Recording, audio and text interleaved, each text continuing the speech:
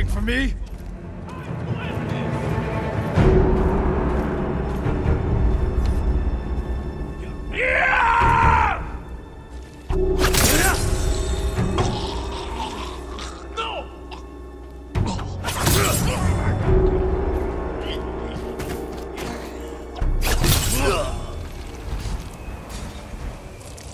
Yuriko!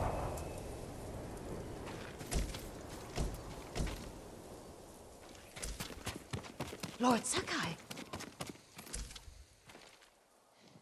Are you alright? you butchered them. Is Yarikawa giving us trouble again? The Yarikawa rebellion was 20 years ago. Those men were with the Mongols. Of course. Seeing you like that, I'm still shaken up.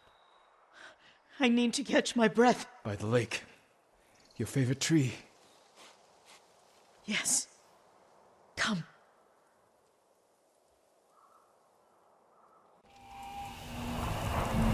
Said earlier you've been making poisons. Keeps the vermin out of our rice. Can you make it stronger? Enough to kill a man? No one deserves that. Can you do it? The effects in larger doses are ugly. Good. Oh, my lord.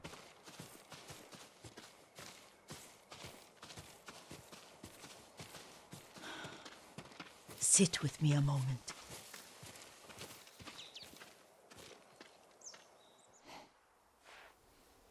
Poison has never been the Sakai way. No Sakai had to fight the Mongol Empire. I need every weapon we have. Tsushima can't afford anything less. The Mongols have changed you, young master. The world has changed.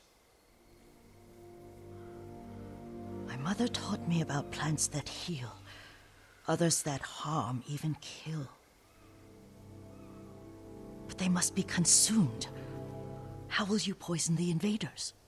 A blowgun and dots.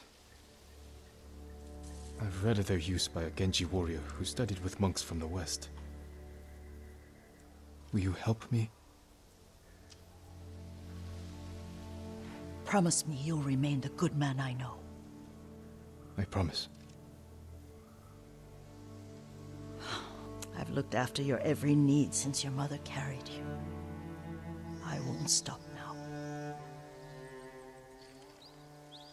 All I need is something to make a blowgun. Used to be plenty of reeds downriver, near the old crossing. Remember? You and your little friend gathered them to make little boats. Ryuzo and I, we'd spend all day reenacting the Battle of Dan-no-ura. Be careful, Jin. The invaders have an outpost there now. Don't worry, I'll be back soon with reeds. Go get your reeds.